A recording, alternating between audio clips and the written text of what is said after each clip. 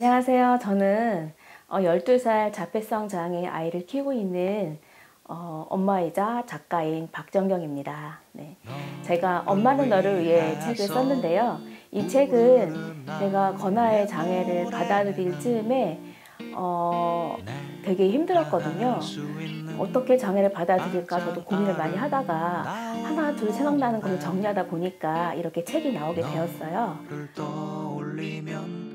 세상에 어떤 화음과 엄마는 나오는 길이 하나인 놀이터를 만들 거야. 길을 잃어도 금방 찾을 수 있도록.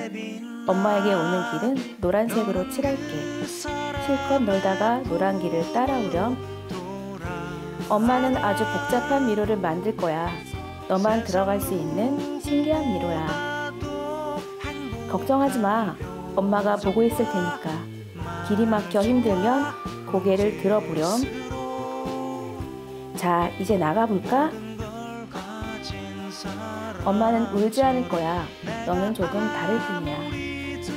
내 잘못이 아니란다. 엄마 잘못도 아니야. 엄마는 더 행복해질 거야. 너와 함께. 흔히 이제 장애라고 하, 하면은 장애를 먼저 보잖아요. 근데 그러지 말고 사람을 먼저 봐주셨으면 좋겠어요. 우리 아이들도 다른 사람들과 같이 이 세상을 함께 살아갈 사람이라는 거 먼저 알아주시면 장애보다 사람을 더 존중하고 같이 살아갈 수 있는 사- 세상을 같이 만들 수 있을 것 같습니다.